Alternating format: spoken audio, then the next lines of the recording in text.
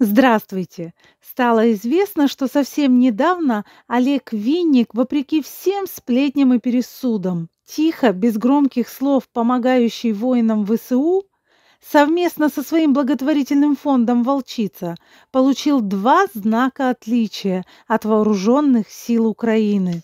Так наши доблестные воины отблагодарили Олега Винника за его личный вклад в приближение нашей украинской победы над российскими оккупантами. Стоит отметить, что Олег Винник о своей помощи не кричит и не рассказывает на всех каналах, а также не появляется ни на публике, ни в соцсетях, а помогает своей стране тихо, как настоящий и безумно любящий свою страну гражданин. И мы все благодарны нашим доблестным воинам и Олегу Виннику за защиту и приближение мира на нашей земле, на нашей красивой украинской земле.